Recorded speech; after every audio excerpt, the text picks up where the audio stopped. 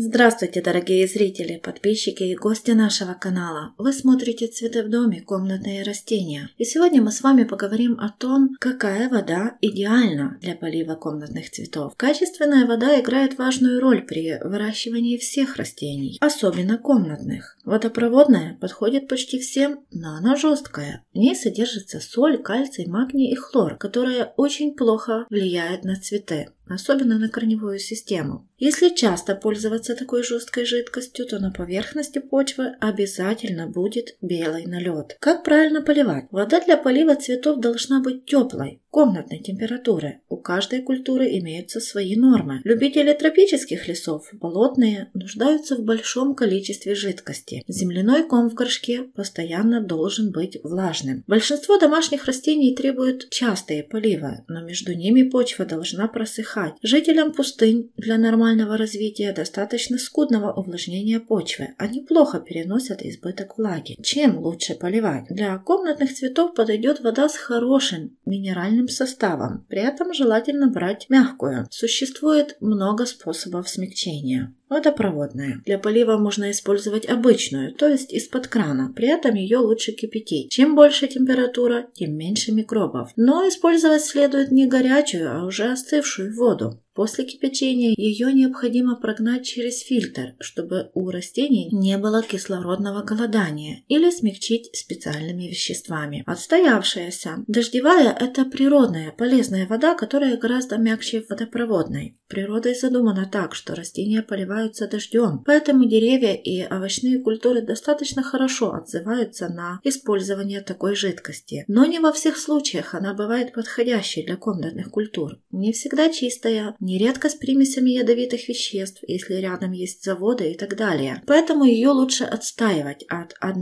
до 3 часов в открытой посуде, а после полива наблюдать за состоянием цветов. Подкисленная. Необходимо добавить немного лимонного сока или несколько капель уксусной кислоты на 1 литр отстоявшейся жидкости. Такой способ прекрасно смягчает воду, которая подойдет для всех растений. Также можно использовать щавелевую кислоту, половину чаши чайной ложки добавить в 3 литра жесткой воды и держать два дня. После этого кальций переходит в нерастворимую форму и выпадает в осадок. Содержащее удобрение. Древесная зола 3 грамма данного ингредиента разбавить в одном литре жидкости и настаивать 7 дней, периодически перемешивая. Затем можно поливать цветы. На горшок 1 литр достаточно 10 мг раствора. Главное достоинство золы в том, что все ее микроэлементы могут быть легко растворенными и усвоенными растениями. Ее также применяют как удобрение при пересадке и размножении, подкармливают ослабевшие цветы. После процедуры листья становятся более сильными, бутоны завязываются в большем количестве. Свежий торф. Вещество смешивается из расчета 100 грамм на 10 литров. Подойдет для любых растений, к тому же удобрит их и снизит кислотность почвы, что вызовет пышное цветение. Замечательно подходит чай или кофе. Для некоторых цветов полив чаем даже необходим. Вещества из остатков чая отлично подкисляют и питают почву, поэтому его можно использовать при пересадке, чтобы растение получило дополнительное питание. Замороженное. Воду следует заморозить. Когда подмерзнет две трети части, то оставшуюся жидкость нужно слить. Она не нужна. В ней растворены все вредные соли. Лед оттаивают при комнатной температуре. Это будет настоящая живая талая вода, от которой растение начинает начинают быстрее расти. Зимой можно полить талой снеговой водой. В ней содержится большое количество разнообразных микроэлементов, легко усвояемых растениями. Ну вот, собственно, и все у нас на сегодня. Ну а посмотреть больше информации о том, какая вода лучше подходит для полива, вы можете в других наших видео. Ссылочку я оставлю вам в описании под этим видео. Ну а поделиться с нами своим личным опытом или выразить свое мнение можно в комментариях. А с вами был канал Цветы в доме доме комнатные растения. Если вы еще не успели подписаться, то подписывайтесь, и вы будете знать все секреты и нюансы выращивания своих комнатных растений. А я же всех благодарю за оценки к видео, и всем пока, до следующих встреч!